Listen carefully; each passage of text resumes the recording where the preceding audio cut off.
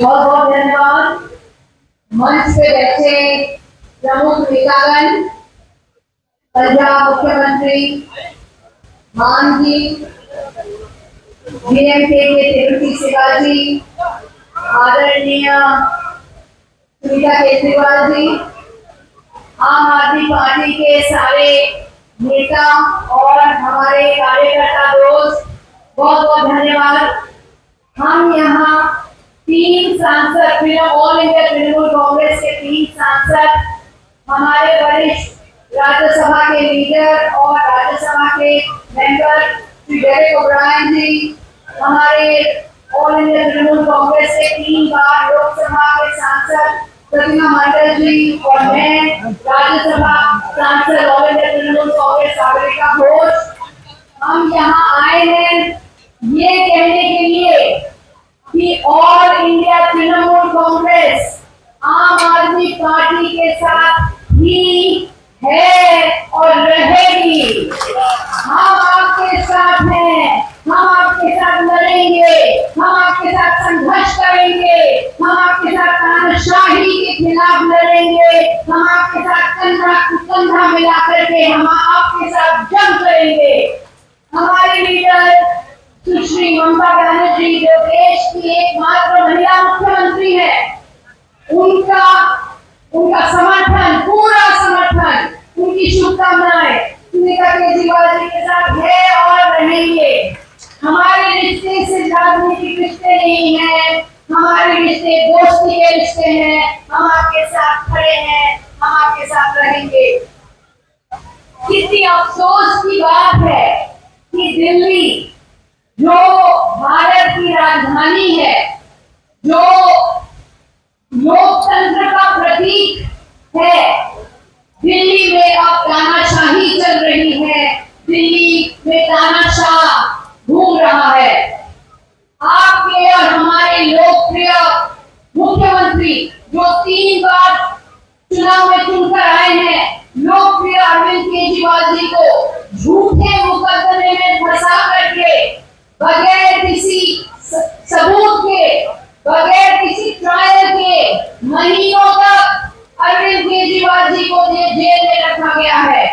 और इसीलिए रखा गया है क्योंकि वो चाहते हैं तानाशाह चाहता है कि आम आदमी पार्टी कमज़ोर हो जाए। आम आदमी पार्टी को खत्म कर देना चाहते हैं, पर हम ये नहीं होने देंगे। हम ये भी नागरिकों को परेशानियाँ झेलनी पड़ रही है। मासूमों को झेलनी पड़ रही है, परेशानी मासूमों की जान चली गई है। और केंद्र सरकार क्या कर रही है? केंद्र सरकार दोष डाल रही है आम आदमी पार्टी के ऊपर जब केंद्र सरकार आम आदमी पार्टी और दिल्ली सरकार को काम नहीं करने दे रही है।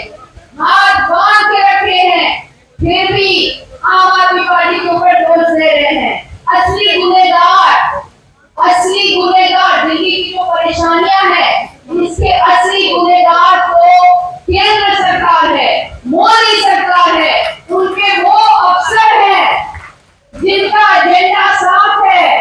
उनका एजेंडा ये है कि आम आदमी पार्टी को खत्म करो और दिल्ली के ऊपर कब्जा करो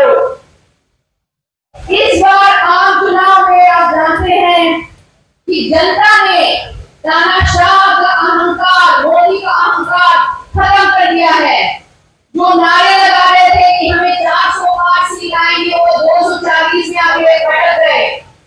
जनता ने तानाशाही को अहंकार को नकारा है। मोदी, इस चुनाव में एक मोदी की एक राजनीतिक हार हुई है।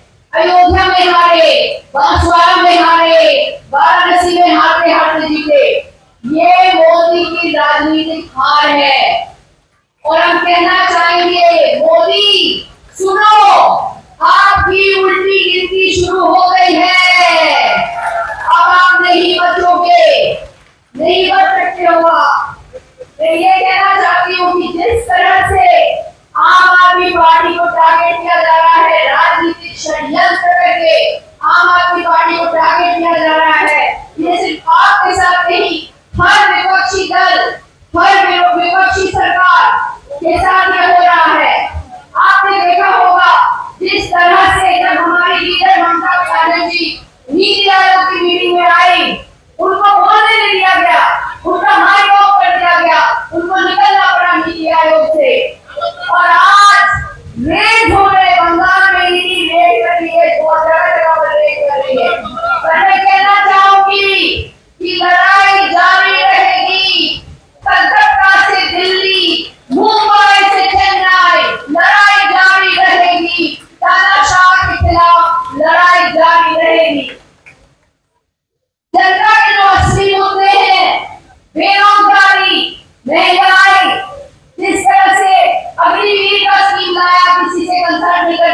करके का स्कीम लाया जिस तरह से लोग परेशान है, ट्रेन एक्सीडेंट हो रहे हैं बस एक्सीडेंट हो रहे हैं, इनको कोई परवाह नहीं है। हर असली मुद्दे जो जनता के मुद्दे हैं, इसमें तो मोदी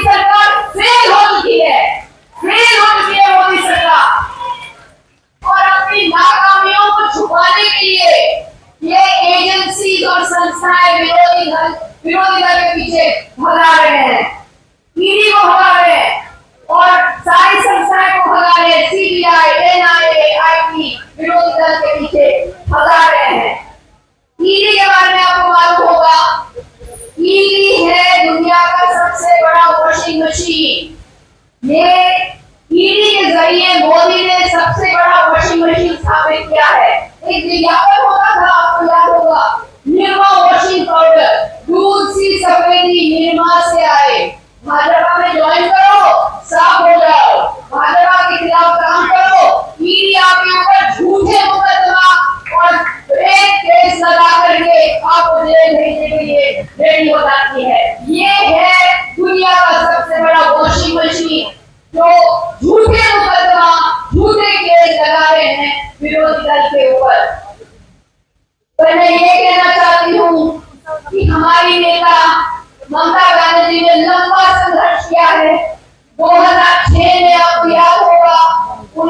26 दिन तक की अनशन किया। ममता बनर्जी संघर्ष करने वाली नेता है। ममता बनर्जी किसी से नहीं करती है। और मैं ये कहना चाहूँगी कि हमें यकीन है, हमें यकीन है कि अरविंद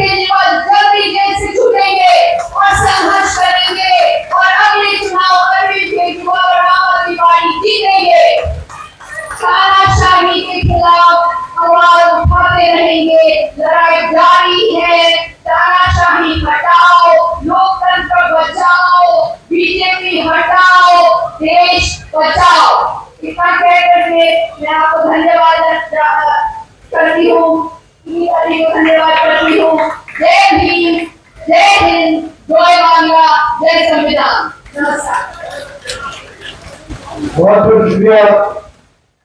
है